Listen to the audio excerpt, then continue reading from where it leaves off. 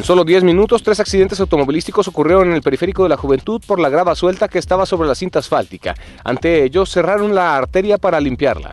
El conductor de un automóvil Nissan Sentra de color verde impactó contra un Civic y una pickup Chevrolet en el exterior de un domicilio en las calles 42 y Urueta. Sin embargo, el automovilista huyó de la zona e ingresó a un domicilio en la privada de Urueta y 46. Las víctimas del choque lo siguieron y lo encontraron en el inmueble, por lo que pidieron el apoyo de las autoridades. Elementos de las células mixtas y agentes de habilidad llegaron al lugar. Finalmente, el ciudadano salió de su casa para asumir su responsabilidad.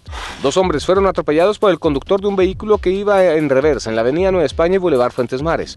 Los hombres iban caminando por la avenida Nueva España y Boulevard cuando el conductor de una pickup Ram de color rojo circulaba en reversa y los arrolló accidentalmente. La conductora de un vehículo Jetta sin placas de circulación transitaba por la calle 31 y avenida Teófilo Brunda, cuando de pronto perdió el control del volante en la curva al circular a exceso de velocidad y terminó impactándose contra el muro de contención. La guiadora del vehículo resultó con lesiones de consideración.